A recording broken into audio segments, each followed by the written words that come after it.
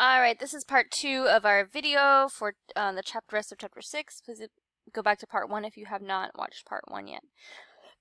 So, um, now we're going to talk, we just finished talking about uh, shape um, and polarity of bonds. And now we're going to talk about polarity of molecules.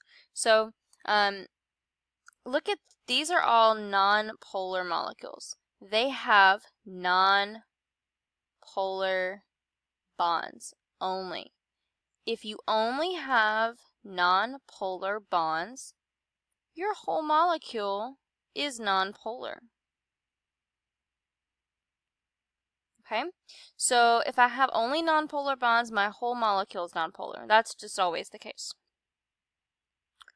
Uh, remember, a nonpolar bond is going to be a bond between the same element or C and H.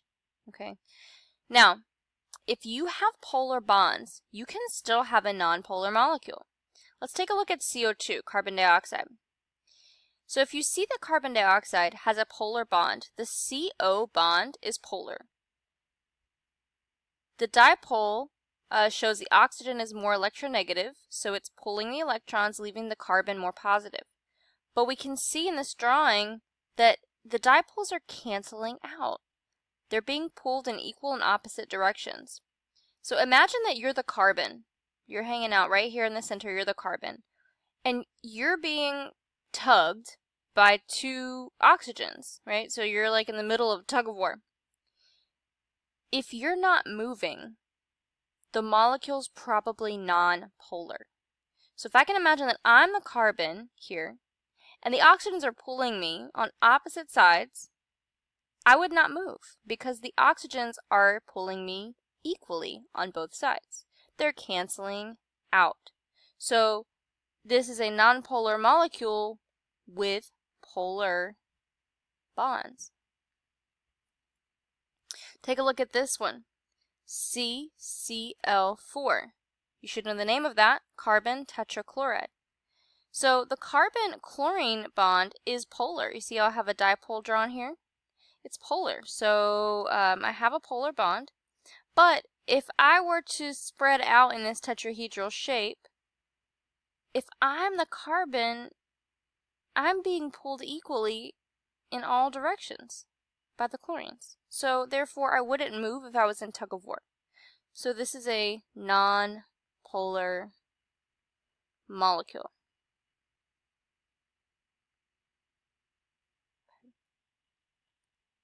Take a look at some polar molecules. If you have only one bond and it's polar, the molecule is polar.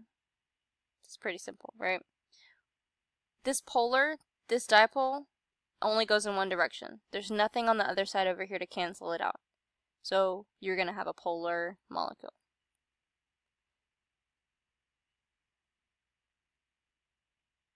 Alright. Let's look at these. Okay, so here's an example. Let's pretend we're going to draw oxygen, maybe how we would, or how, we'll draw water, maybe how we would draw it before we knew the shape. So if I drew it like this, I would say, okay, well, these dipoles, they seem to cancel out like CO2, right? But they don't actually because this shape is not linear. This shape is bent. So I'm actually drawing my dipoles like this there's nothing canceling, there's nothing going this way, and there's nothing coming this way. So it's not getting canceled out. You have a negative end to the part to the molecule, and you've got positive ends to this molecule. If you have a negative end of the molecule and a positive end of the molecule, it's a polar molecule. It's uneven it doesn't cancel out. Here's another example. You may notice that both of these molecules have a lone pair electrons on the center atom. That's an indicator that you have a polar molecule. All right. So you're going to identify these. So pause and then try to identify these. We're going to draw the Lewis structures and then we're going to identify um, if it's polar or nonpolar. I have to draw the Lewis structures first because I have to see uh, what kind of shape I'm looking at. Okay, so I want you to first think about a polar molecule. Look for polar first, and then you can look for nonpolar. Alright, number one. Do you have lone pair electrons on the center atom? If you do, it's polar. So I know I'm going to put two dots here on this P. This thing is polar. Alright, let's look at HBr. I don't have a center atom, um, but the other thing that can give me a polar molecule is an unequal um, dipole or a dipole that doesn't get canceled out.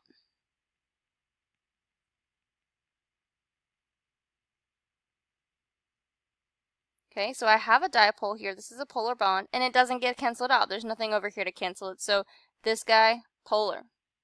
CH4, let's draw that.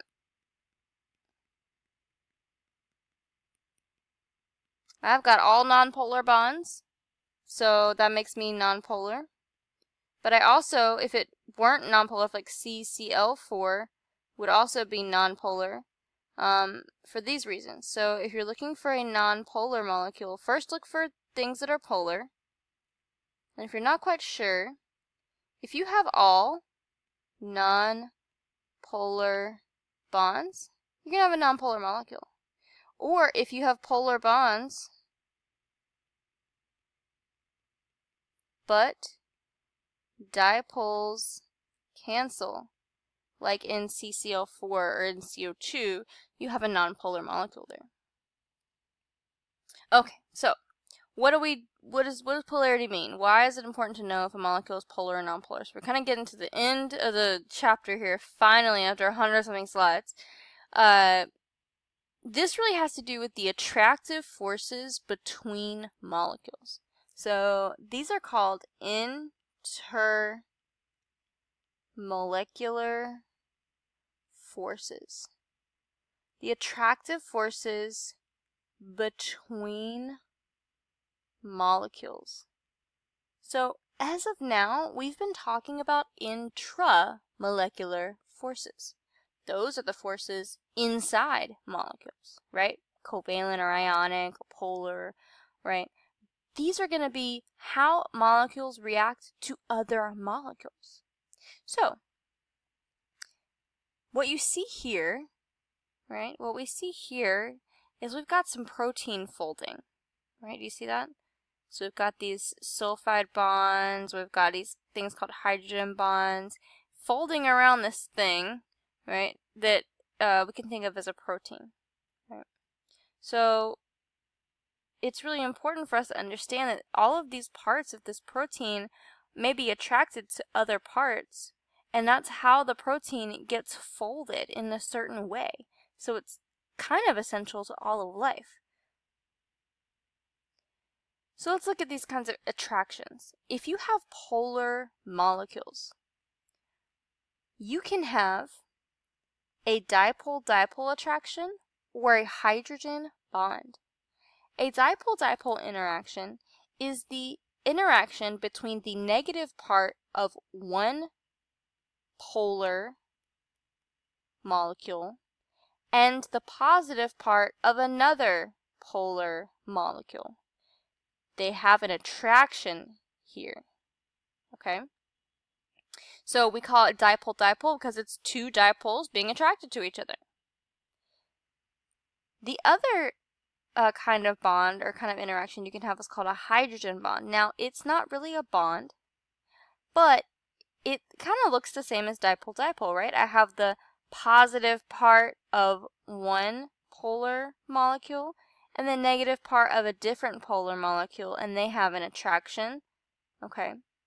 But because hydrogen is so little, I actually have a way bigger attraction here. So this is very strong.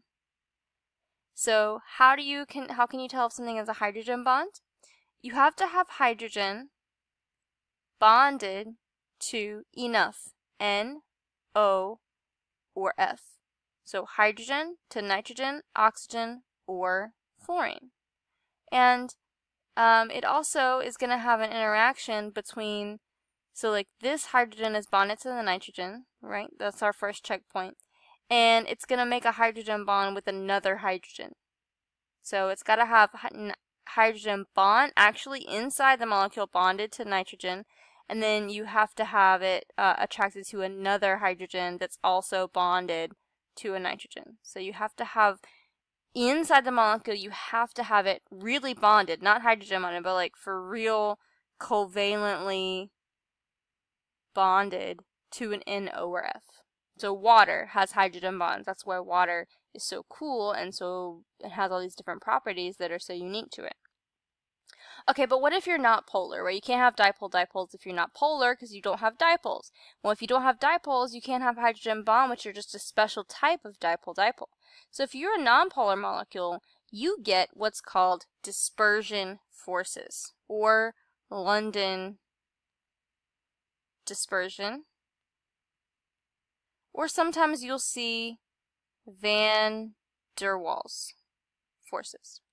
Okay, Let's say I am a nonpolar molecule and I'm sharing really great with my partner, okay?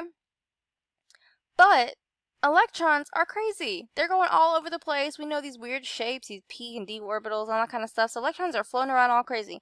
Sometimes the distribution of electron is symmetrical, right? So electrons are all evenly spaced out. Sometimes they're not symmetrical.